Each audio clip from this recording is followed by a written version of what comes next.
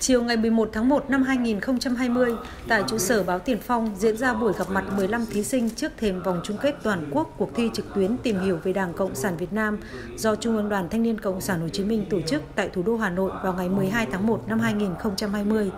Trong không khí thân mật của buổi gặp gỡ, các bạn đã chia sẻ niềm tự hào khi là những thí sinh xuất sắc nhất vượt qua các vòng thi tuần, thi bán kết, trở thành top 15 trong tổng số gần 700.000 thí sinh tham gia để lọt vào vòng thi đấu đối kháng sân khấu.